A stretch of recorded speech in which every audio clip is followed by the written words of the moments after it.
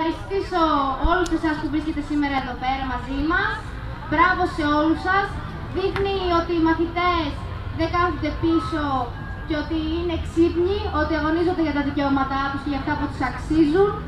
Ευχαριστούμε επίσης και την Ομοσπονδία Γονέων, οι οποίοι έβγαλαν ανακοίνωση στήριξης για τους αγώνες μας και όλα τα σωματεία. Οι καθηγητές και οι γονείς μας που είναι επίσης σήμερα εδώ πέρα και έχουμε τη στήριξή τους. Λοιπόν, για τις καταλήψεις και τα αιτήματα, το, γνωρίζετε, το πιστεύω ότι το γνωρίζετε όλοι σας. Ε, τώρα η κυβέρνηση, όπως είδαμε, ήταν 6 μήνες στα σχολεία μας κλειστά, δεν με ρίμνησε για τίποτα, είχαμε περισσότερα προβλήματα, με συνοστισμό. Και μέσα σε όλη αυτή την αμπουμπούλα είχαμε και τα ΜΜΕ να μας οικοφαντούν και να λένε ότι οι καταλήψεις γίνονται για τη μη χρήση μάσκας και ότι ξέρω εγώ οι μαθητές είναι ψεκασμένοι και θέλουν να κάνουν μαθήματα. Σήμερα αποδεικνύουμε σε όλους αυτούς ότι οι μαθητές ξέρουν τα δικαιώματά τους, ξέρουν να αγωνίζονται και ότι δεν θα σταματήσουμε μπροστά στις εισαγγελίες που βγάζει η κυβέρνηση για τους εισαγγελίες και για τις αστυνομίες. Δεν μας ήσαμε ούτε σε διευθυντές και καθηγητές που μας λέγανε να μην κάνουμε κατάληψη γιατί ε, θα πάρουμε απουσίες κλπ. Τι άλλο να πω. Συνεχίζουμε, δεν μασάμε για κανέναν λόγο, είμαστε όλοι μπροστά. Σήμερα θα φωνάξουμε, η συντονιστική θα βγάλει κι άλλο σχεδιασμό για τις επόμενες μέρες.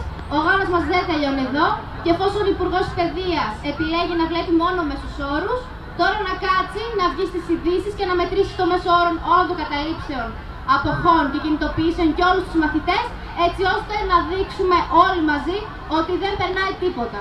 Ότι η τράπεζα των δαμάτων θα μείνει στα χαρτιά, ότι όλοι είμαστε μπροστά για τον αγώνα ο οποίος μας είναι δίκαιος. Και δεν μας άμεσε τίποτα. Έχουμε να αναφέρουμε τα αιτήματα τα οποία είναι δωρεάν και δημόσια μετακίνηση όλων των μαθητών στα σχολεία τους. Ε, να πάρουμε βιβλία ειδικοτήτων και καθηγητές ειδικοτήτων γιατί δεν έχουμε. Θέλουμε παραπάνω μάσκα. Θέλουμε μια παραπάνω μάσκα γιατί μια μάσκα στο 7 ώρα δεν μας φτάνει. Θέλουμε επίσης αντισηπτικά. Και μιλήσαμε με τον δήμαρχο του Παύλου Μελά και μας είπε πετώντας το παλάκι στον περιφερειακό διευθυντή ότι δεν είναι αδική του αρμοδιότητα αλλά είναι της περιφέρειας. Όταν δεν τράπηκε ο περιφερειακός διευθυντής να έρθει στο σχολείο μας και να μας πει για τα...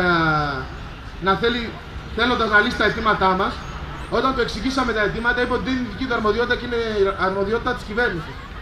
Έτσι λοιπόν και εμείς συντονίσαμε τον αγώνα μας για την κυβέρνηση να πάμε στο Υπουργείο Παιδείας στο Υπουργείο Μακεδονίας και Θράκη και να αγωνιστούμε εκεί πέρα. Γιατί η φωνή μας όταν είμαστε πολλά σχολεία μαζί ακούγεται πολύ καλύτερα από να πάμε ένα σχολείο και δύο σχολεία.